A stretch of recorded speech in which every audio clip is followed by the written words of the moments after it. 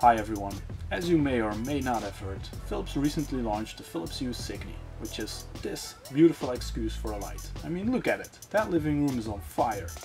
Sadly, at that price point, you might as well set your wallet on fire. It's not going to matter much. So I did some research online and I found a lot of parts to make something very very similar to this for a lot less money. Here's what I ended up with. As you can tell, I haven't been very original in my design. Yes, I'm very well aware I might get sued by Philips over this. But at a little over 40 euros in parts, it's a lot cheaper than the 270 euros Philips is asking for this.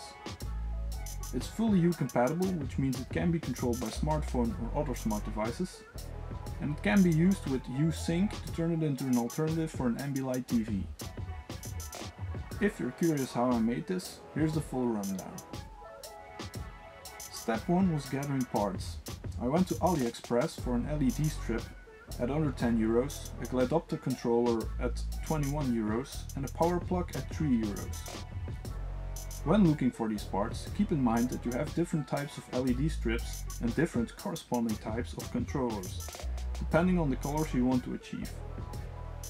I also went to the local hardware store and got an aluminum Hue profile at about 7 euros and at the paper and craft store I got some matte plastic to softbox the light a bit, also for a few euros. Next up was designing a pretty base to house all the electronics and keep the thing upright. I 3D printed these parts, but I'm confident any box that can hold the Gledopto controller will suffice. With all the parts finished, I drilled a hole in the profile for the cables.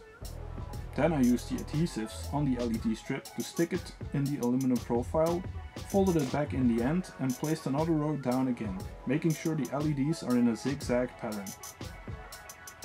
I inserted the cables into the Gledopto controller, which will connect it to my Hue bridge.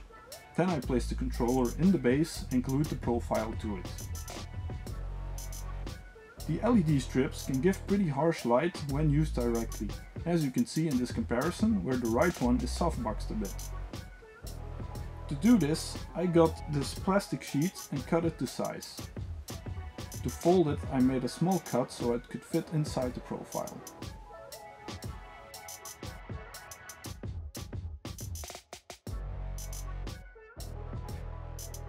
And that's pretty much it.